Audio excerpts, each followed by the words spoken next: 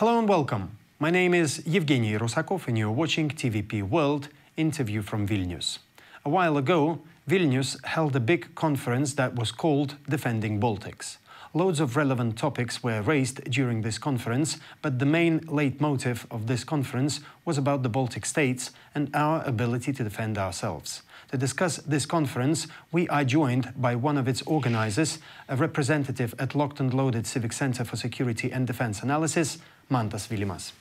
Hello, Mantas, and thank you for joining us today. Hello, my pleasure. So, uh, Mante, uh, one of the topics during the conference was about resilient Europe and shaping its defense amidst uh, new threats. So, is Europe really ready to defend itself with on our on our own? As we all know, European nations have neglected their defense and military capabilities for years and years. And only after Russia's aggression against Georgia, against Ukraine, only after authoritarian regimes demanded NATO come back to its 1997 borders, European, big European nations started to wake up to, to, to realize that, that our security is in our interests for, foremost. Uh, to this day, it would be unwise to assume that European nations are ready. Uh, yes, we are waking up, we are preparing. Uh, Western is countries. Is this a quick wake up, or is this a? No, it's a very slow one. a very, slow, slow one. one and gradual one. As we can all see that we have a lot of problems in decision-making processes, and and our political will is wavering from topic to topic. Um, it's good to good to see that something is happening. It's good to see that uh, the reality of urgency of security matters are already on minds of many Europeans and European nation leaders. But we're not there yet, and we need to continue to strengthen up. By the way, uh, you as an organizer of this conference, you definitely spoke to many of guests from from Western Europe, from from different countries. Uh, behind the scenes, what would you say about their position towards what's happening right now in Europe? Because from, from my perspective, the West is not really thinking the way we here in, in Eastern Europe, uh, Eastern NATO's flank things. Of course, that's most definitely the case. And the closer to the aggressor border are you located, the more you're awake to the dangers uh, it possesses. That's, I believe, it's only natural. And uh, as we as we see from the guests, from their uh, opinions, from the realities they bring from home, that uh, Western countries are already I don't know how to even call it. Forgetting that that there is an imminent danger here, and maybe North America is far from well, the front. It is. Geographically, it is. Well, let's, from let's one honest. side, yes, and let's be honest. but it's the bigger problem is that it's far in their minds, which it, which it shouldn't be, because you know NATO is cross-continental union that's that has a lot of border with, with aggressive nations. Um, but at least in Europe, uh, we have we have understanding that uh, that the security matters are urgent and they need to be explored, and, and we need to prepare to to get ready for any ine inevitable any scenario. Con conflict. Yes. Okay, I see. Uh, so, okay, you've mentioned NATO. And there's my next question. How can European and NATO political and military leaders ensure sustained commitment to defense investments and readiness? It's simply by continuing what we are doing and trying to find a way to minimize the political inability to, to, to make strong position. We, we need unity, we need political will, uh, we need less fragmentation in implementing that will in, on every step, uh, not only on trying to find the best strat strategies, but to implement those also. We already have two years of ongoing discussions and talks of what should be done and when should it be done. But still talks. Still talks, but then again, at least, well, it's two years later, but we still, we finally see uh, heavy weaponry in Ukraine, we see fighter jets in Ukraine, we see more and more something- red something lines. Something is moving. Something yes, is moving. more and more of imaginary red lines uh, drawn by Putin is, is being crossed, and that's a good thing. That's what's that that's exactly the thing that European leaders should understand. That uh, the only countermeasure against uh, A bully. regime and Against the bully and is- against a bullying is not declaration of war. This is declaration of actions. Sure. Uh, okay, so uh, what improvements then uh, should be made on NATO and national level, especially small states like Lithuania?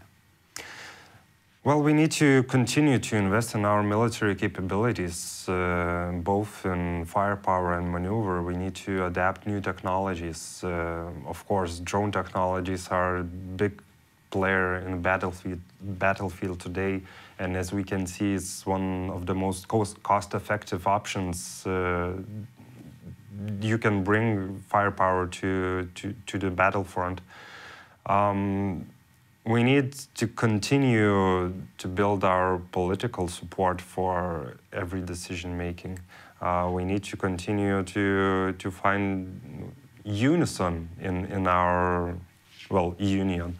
Uh, as we all know, we have some nations like Hungary that is pretty ambivalent of where they stand, where they stand, and what they want to do. We don't know how. Uh, the USA What would be their next step and all that stuff? yeah, what, what the what the next president is going to be and how the foreign policy of the United States is going to change. But besides that, uh, we need to understand once again that our security is first and foremost our responsibility, and it doesn't matter who sits in the White House or who sits in Budapest. We still need to look for ways to strengthen strengthen ourselves up. Nice words. Hopefully, some nice words will become some nice deeds one we day. hope so. Okay, NGOs. Uh, what role did uh, non-governmental organization uh, organizations play in supporting both the civilian population and uh, military operations in Ukraine? Well, it is understandable that military and governments are unable to fulfill all the roles in wartime scenarios. And as we see in Ukraine right now, or as we are building up our resources, is under assumption that NGOs are a vital part of uh, supporting nations' functions during a wartime. Uh, they help with various uh, simply logistical needs or uh, food, water, helping the most vulnerable, vulnerable parts of society.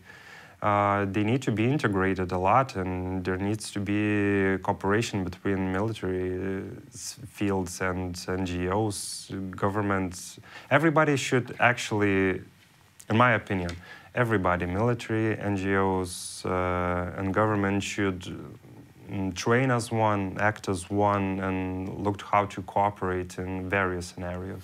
Okay, but then there's a question about those NGOs. Uh, that mean that literally means that by letting NGOs to cooperate more with military and with governments, uh, this is this looks like a very very sweet piece for third countries, for our enemies, to open their own NGO and to get some vital, some vulnerable information. Or am I am I wrong here? Well, You, you correct me if I'm wrong because I'm, I'm, I'm not really uh, I, I'm not always aware of how NGOs work. So this is this is where this is where you come on stage and tell me that I am wrong. Of course, the adversaries are looking for ways uh, in, inside uh, military or governmental functions in every sphere they can get their fingers on, and NGOs seems like easy, easy take. very- yes, yeah, of course. exactly, exactly. But then again, this is the this is the part where military ha- needs and has to cooperate, and government also they need to do the monitoring of of such kind.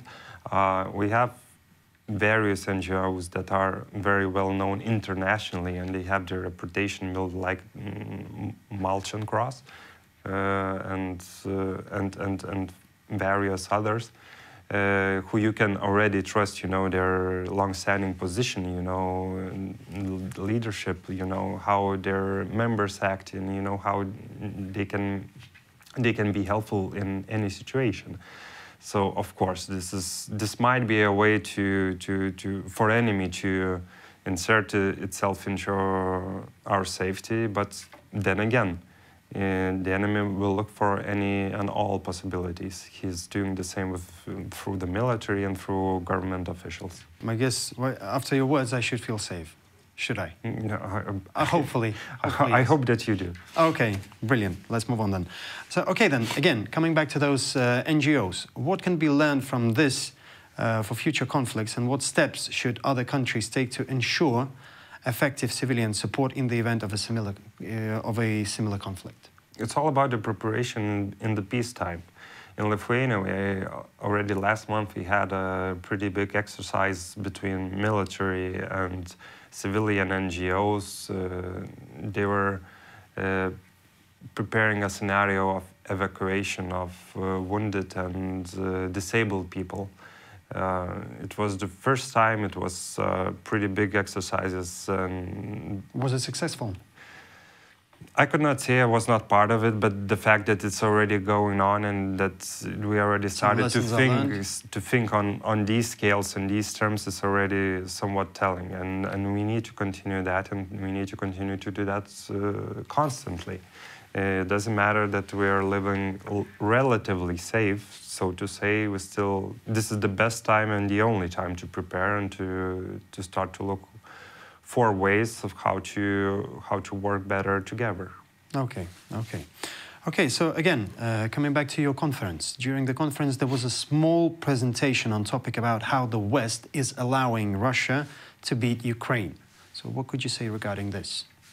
I would say that it's it is an oversimplification to say that the West is somehow deliberately try, trying to to give Russia a pass in Ukraine. It's it, it all comes down to political will to fragmented decision making. We simply have too many stops and too many hiccups uh, in, in our process making uh, to, to, to allow for military support, financial support, humanitarian support to flow uninterrupted where it's where it needs to go and how it needs to go. Um, then again, as we can say, we already said that uh, we can see European nations are waking up. Our support is not wavering. We're trying to do everything we can. We even see potential of uh, Rheinmetall and other Western military. German factory. Uh, yeah. Um, weaponry makers trying to open new factories uh, in Ukraine or in nations close to Ukraine, which is a huge step, and we need to continue on that. Okay, so okay, uh, let's let's sum it up. Uh, lessons from war in Ukraine. I know that this was like one of the main, again, leitmotifs of the whole conference. So, firstly, what are they? And secondly, has Europe learned them? And is Europe really going the right way? And are we on time, by the way? Mm, because I We're feel that we are late. Uh, well, late or not late, there's no other way out just to continue that. It doesn't matter. it may be harder for us right now because we have neglected security issues for a long time. Mm, that doesn't matter that we have opportunity to give up right now. We need to we need to, to simply continue continue to do what we are doing right now. There's no other way. There's no no escaping this. Uh, we need to get ready and to to, to do the best we can to, to find solutions where we need to find solutions, and there's nothing else to say. Okay, so uh, how about next conference? Are you going to uh, are you going to organize oh, another most one? definitely. We're already getting started with our preparations. Okay, then. So I really hope that you will succeed, and I really hope to see you next year at the uh, next Defending Baltics conference. Me too. Thank you. And I would like to remind our viewers that our guest for today was a representative at Locked and Loaded Civic Center for Security and Defense Analysis, Mantas Vilimas. You're watching TVP World. Stay with us.